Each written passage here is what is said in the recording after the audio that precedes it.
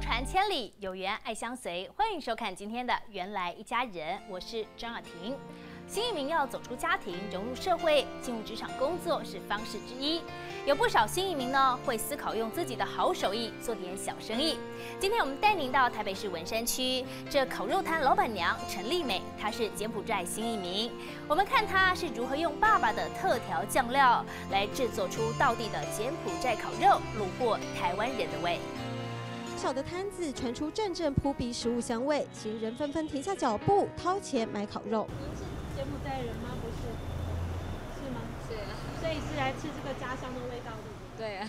这是柬埔寨新移民陈丽美的烤肉摊，专卖道地简式口味。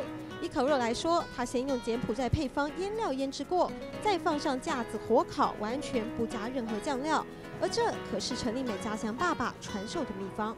因为我爸爸他都做那个那个葱头那个厨师的，然后他都每次他去哪里请客，他都。带我们去让啊，都去帮忙的。因为家学渊源，也很会做料理的陈丽美，十三年前嫁来台湾，在生活语言适应之后，兴起卖家乡小吃，帮忙家计的念头。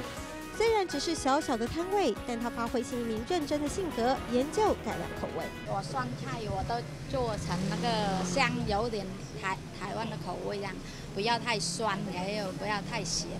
烤肉、包面包，手没停过，小摊客人络绎不绝。现在陈丽美的柬埔寨家乡味已经是台北市木栅一带的名小吃了。而陈丽美自己呢，也在食物的香气里想念家乡爸爸。